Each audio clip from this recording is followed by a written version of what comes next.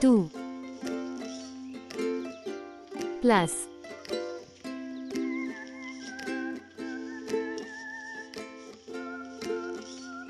4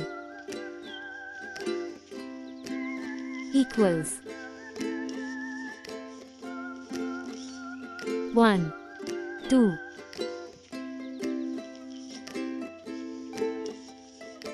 1 2 3 4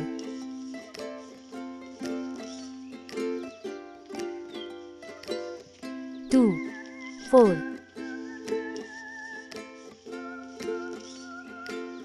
plus